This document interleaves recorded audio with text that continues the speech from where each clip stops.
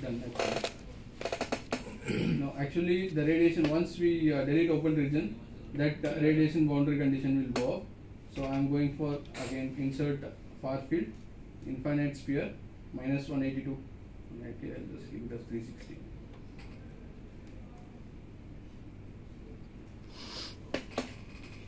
And okay, now just we'll see the radiation pattern. Actually, this is not the exact radiation pattern because I had uh, uh, minu- uh, like the convergence rate I had reduced a lot. So we'll go to dB and click on new report. So you can see 19.84 dB the overall gain is and uh, in this particular case you can see like uh, we had not if we had the convergence is uh, pretty much high as 0.02 for a single element how we kept. Then uh, we would have got uh, better response then for finite array beam angle uh, hearing hearing aid uh, compliances for that MIMO then uh, wavelength calculator all these things. In this we will use this for beam forming. Just to demonstrate we will be going for this particular finite array beam angle. Once we go to this and toolkit calculator will be coming so this particular toolkit calculator is nothing but it will ask for in which particular angle my theta and uh, that is the input signal or the receiver signal is coming from. Okay let's suppose um, just what we'll do here is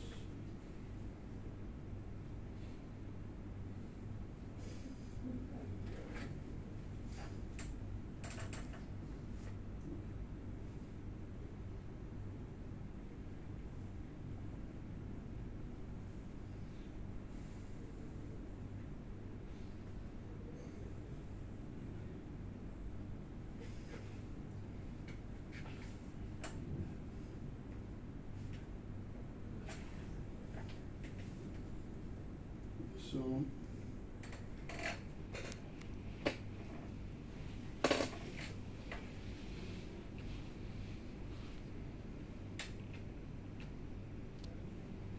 so let's suppose we will keep an angle of change theta from 0 degree 0 degree is nothing but the starting range right now now we will make it to 90 degree that This is is for input. Uh, you're giving, huh? uh, like the angle in uh, this finite array beam angle toolkit, what it does is in which particular angle my signal uh, receiver, like let's suppose this is the base station, okay, that is the antenna placed on a mobile tower. So in uh, 5G, it's about the finite array, that is beam forming, massive MIMO beam forming is a ultimate target, where based on the input signal, my element should activate like uh, in uh, nowadays system it is like we'll be exciting all the antennas together it will be put, uh, concentrating on particular direction and it will uh, try to communicate like each uh, lobe or uh, the crosstalk is nothing but uh, is there any interpretation between these two lobes Mm. if it is happening the lobe which is connected to me and the lobe which is connected to you in between if, you, if someone is trying to uh, call or uh, communicate at that particular point there will be a crosstalk happening there Mm. so that's what uh, we hear when we call.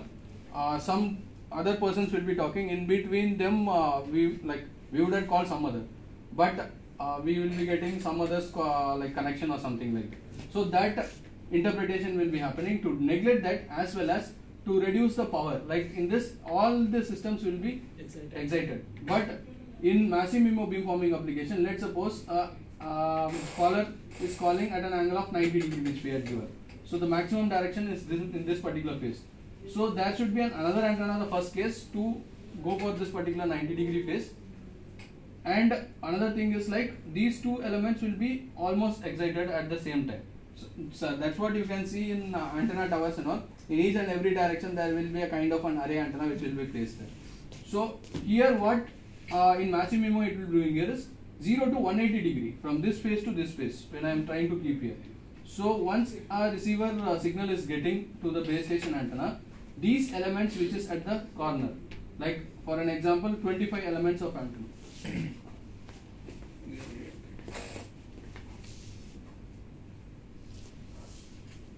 So let's suppose this is the antenna structure which we had made. So if I make this is 0 degree of uh, theta and this is 90 degree of theta. So I am receiving a signal from this particular angle. What it has to do is the excitation system of the elements has to be activated in this phase and the elements which is uh, activated at the center has to be deactivated and this has to be concentrated and the directivity based on this it will be more here. So this we call it as massive MIMO beamforming. As an initial phase to test how uh, the beamforming is working, we have a direct toolkit here. So what it does is it will be changing the phase of the input here.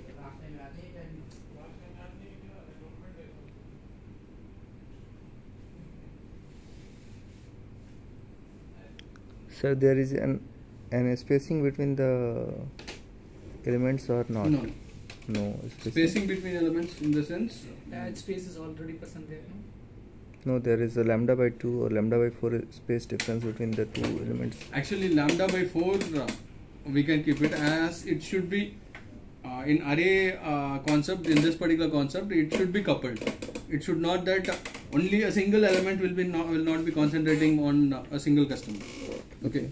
So two three antennas will be coupled so that my beam or the directivity will be high for a particular customer. Okay. okay. So i could explain you in a way.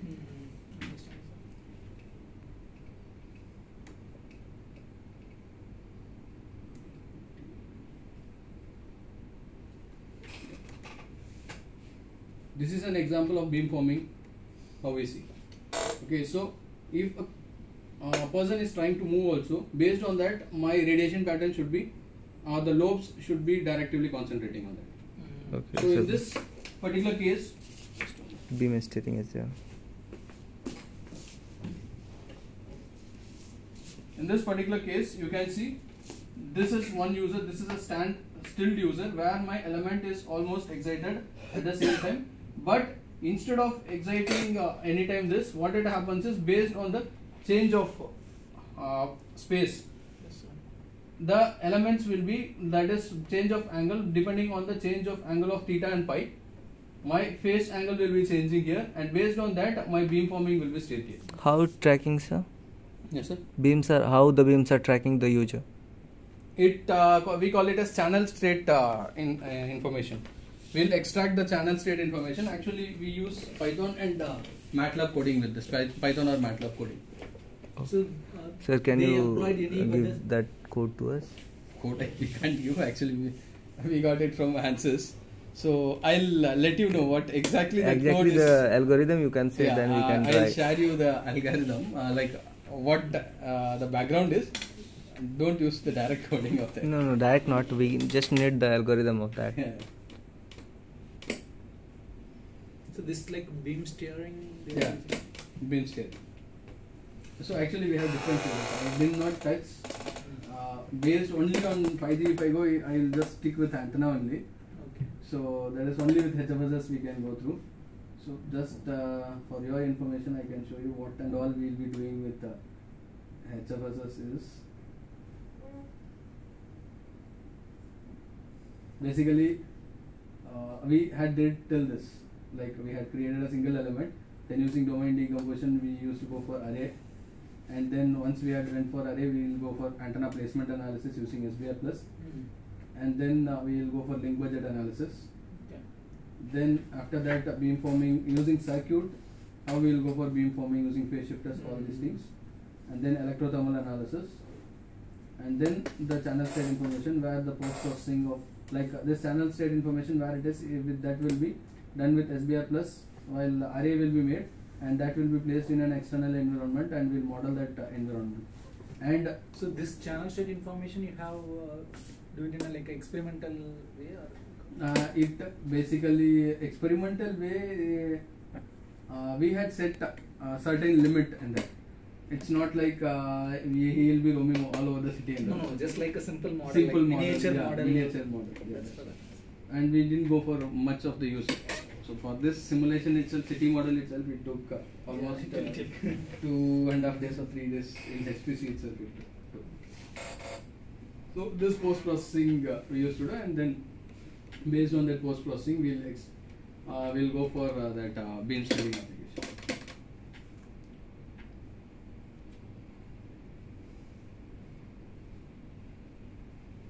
So overall, it, it will be a kind of whole uh, two to three days. It will go for five G itself. Simulation itself.